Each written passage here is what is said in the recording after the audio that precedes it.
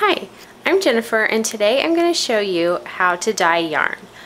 I've actually never done this before so hopefully it turns out for me. I have here, I've looped it into a loose skein and tied it in a couple places and it's some superwash wool in kind of a cream color. I'm going to try to dye it blue and for that you are going to need a pair of gloves and the gloves are just to keep your hands from getting colored from using the dye, so it's not critical that you have gloves. I have some distilled white vinegar because you need an acid. Um, my vinegar actually expired uh, August 2010, so hopefully it still works. We'll see. Um, I have a tablespoon, and that's just to measure the vinegar.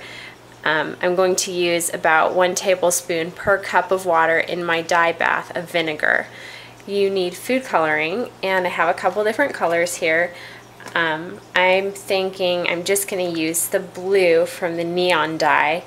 That is a more pure blue than just regular blue dye. Um, the regular blue dye actually has a little bit of, I believe it's red in it. So I just want the pure blue dye, which is why I'm going to use the neon. Um, first step is to take your yarn and submerge it into just plain water and you're going to let this soak for about a half an hour. Um, the reason to do that is because soaking the yarn helps get rid of the bubbles that might be in the in the yarn, just like little pockets of air. So it's going to help the dye adhere better. So we're going to leave this for about a half an hour and then come back and move on. Okay, the yarn has been soaking for a while now and I'm ready to go ahead and start the dyeing process.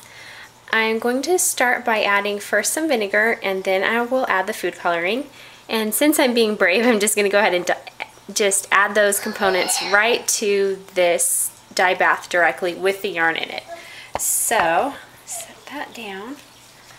I'm going to grab my distilled white vinegar and I think I have about four cups of water in here. So I'll add about four tablespoons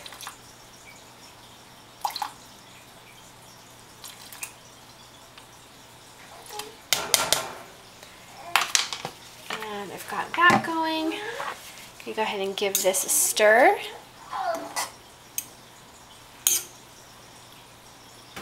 And on second thought, I think I'll take the yarn out and then I will add food coloring. So remember to wear your gloves if you want to avoid getting dye on your hands.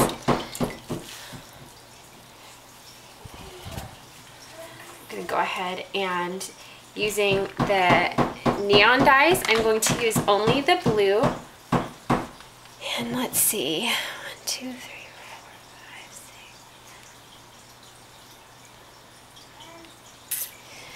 That was about 15 drops of blue dye.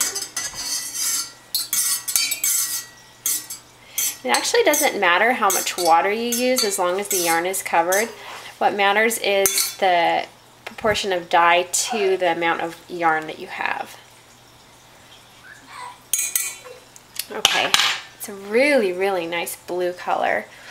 Um, I think that should be good. So I'm going to go ahead and add the yarn and I'm going to get my stove going. Ooh, it looks so pretty already. So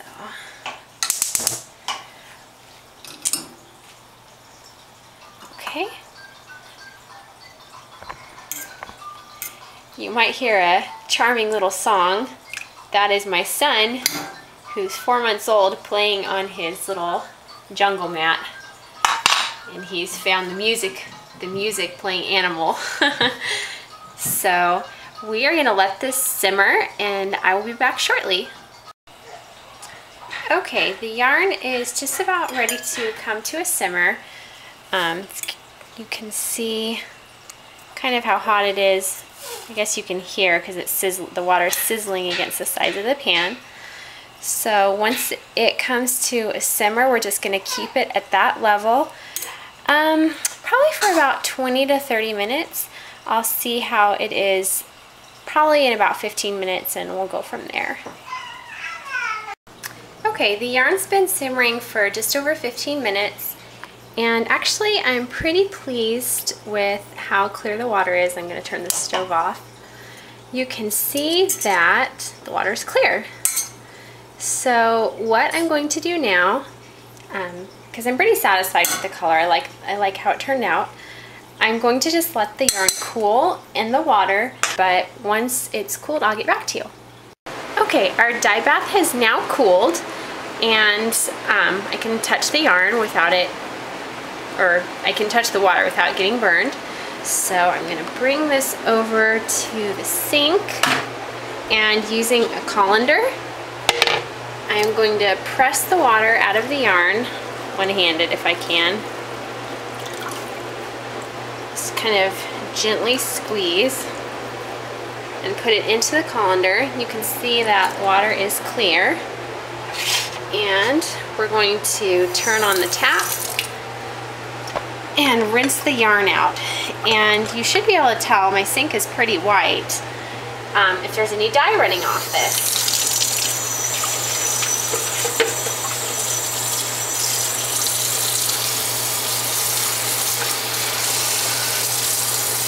actually don't see any color running off.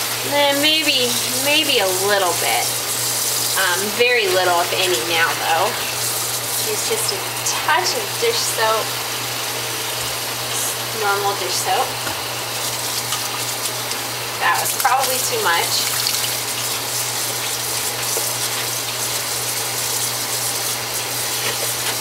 this is super washable, so I actually don't have to worry so much about it felting.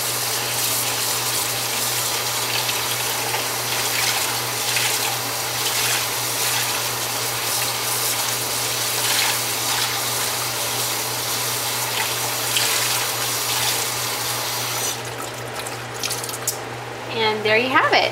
Um, color I'm aiming, I was aiming for was kind of a sky blue, so I'm actually pretty pleased at how this turned out. I love it. Uh, thanks for watching.